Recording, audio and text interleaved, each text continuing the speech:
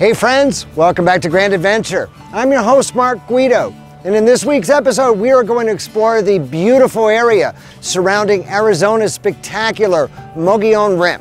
So, stay tuned.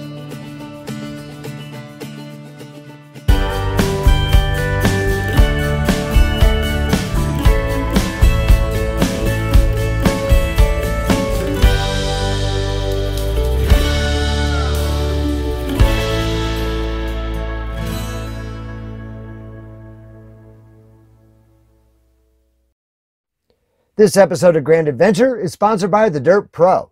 Find the campsite that's right for you from over 44,000 listings, either on the web or on their number one ranked mobile app. Try all of the Pro features free for 90 days by using the promo code GrandAdventure90. The National Park Service pronounces it Mogollon, whereas the Forest Service says it's pronounced Mogollon. Whatever, it seems like a distinction with little difference to us. We'll mix things up to keep everybody happy. Between intense summer heat, thick wildfire smoke, and incidents like what happened to us here on the Mogollon Rim, our 2021 season seems to be one of the best laid plans gone awry. It was a long drive for us to get here from our last stop in Las Vegas. We had the perfect boondocking spot marked out for ourselves right here on the rim with adequate sun for solar power inadequate cell service to work for the week. However, the U.S. Forest Service had other ideas.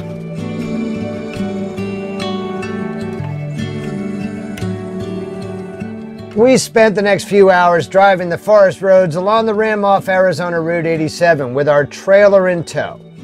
Some much narrower and tree lined than this one. Some were difficult to pull our fifth wheel through with low hanging branches.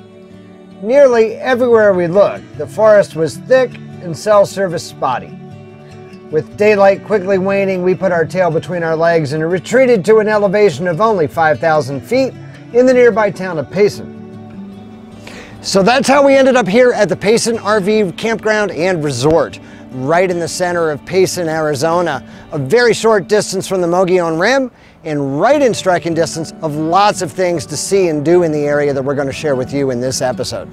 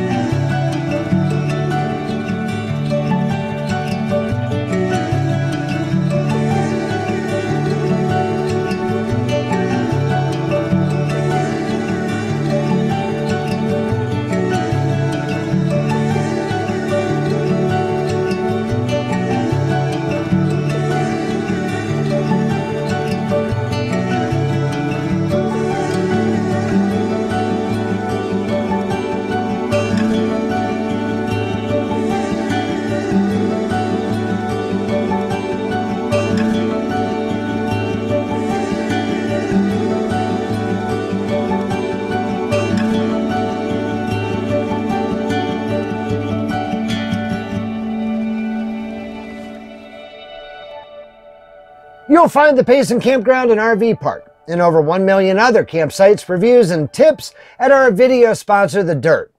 Pro members even get the ability to search for a campsite while outside of cell service or Wi-Fi range, as well as trip routing, public land map layers, and campground and camping gear discounts.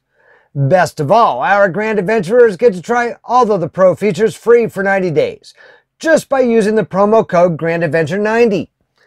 Click on the link down below in the video description to try the Dyrt Pro for free today. Made famous by Western author Zane Grey, who once had a cabin here, the Mogollon Rim is the escarpment of the Colorado Plateau that cuts across the northern half of Arizona for 200 miles, ending near the border with New Mexico.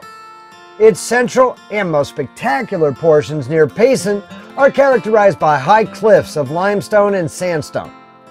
The escarpment was created by erosion and faulting. It was named for Don Juan Ignacio Flores Mogollon, the Spanish governor of New Mexico from 1712 to 1715. Much of the land south of the Mogollon Rim lies 4,000 to 5,000 feet above sea level, with the escarpment rising to nearly 8,000 feet, where it's much cooler in summer than most of Arizona. Extensive ponderosa pine forests are found both on the slopes of the rim and on the plateau north of it.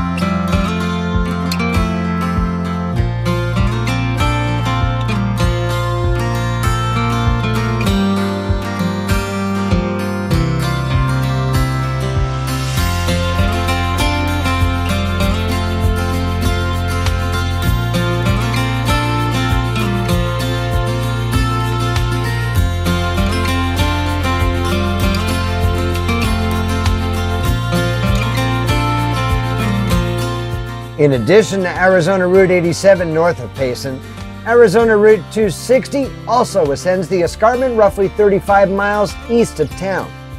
Had we enough daylight left when we arrived, we would have discovered that campgrounds and boondocking opportunities are much more plentiful in the forest surrounding Route 260, and cell service more reliable right at the immediate edge of the rim.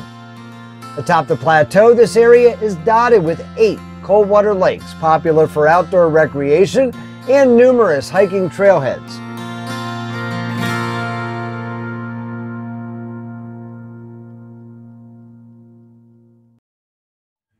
At an elevation of 7,510 feet, Woods Canyon Lake is popular with fishermen seeking trout and panfish from shore, motorized boat, or float tube. Trout are mostly rainbow, although a few large brown trout remain in the lake from stockings years ago. There's a boat ramp available and the Woods Canyon Lake Store and Marina rents boats and sells licenses and fishing supplies. Campers can stay at one of four developed campgrounds nearby. Bear Canyon Lake is a beautiful, narrow, canyon-bound reservoir that's accessible only by foot trail. At an elevation of 7,560 feet, its surface covers 60 acres and reaches a maximum depth of 50 feet.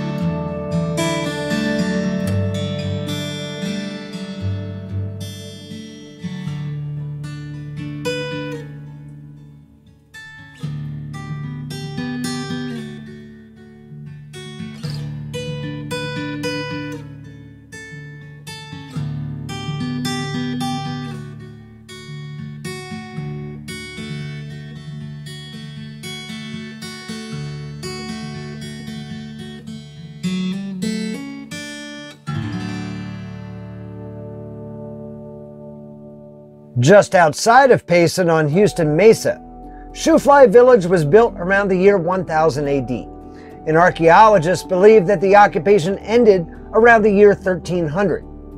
The masonry remains found here housed approximately 250 people in over 80 rooms as they farmed, gathered wild plants for food, and hunted.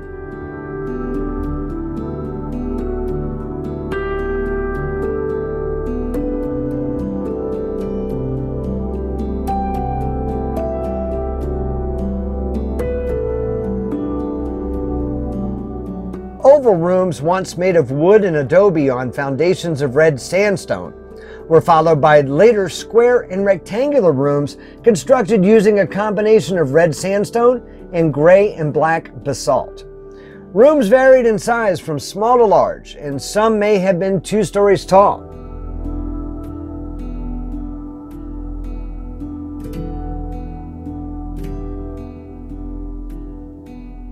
The people who lived here had close cultural ties with the Hohokam and Salado people, who lived in the deserts and mountains to the south. And trading brought obsidian, decorated pottery, and jewelry to the residents of Shoofly Village. Just off Route 87 between Payson and the Rim is Tonto Natural Bridge State Park, surrounding a natural arch over 400 feet long, 183 feet tall, and 150 feet wide that is believed to be the largest natural travertine bridge in the world. It was first documented by a Scotsman, David Gowan, while hiding from hostile Apaches in 1877. Gowan was sufficiently impressed that he persuaded his family to emigrate and live there. He planted apricot, walnut, peach, apple, cherry, and pear trees on 160 acres surrounding the natural bridge occasionally scuffling with the Apache, who also desired the area to plant their crops. Gowan family members continued to live near the bridge and eventually operate a 10 room lodge until 1948. The property first opened as an Arizona State Park on June 29, 1991.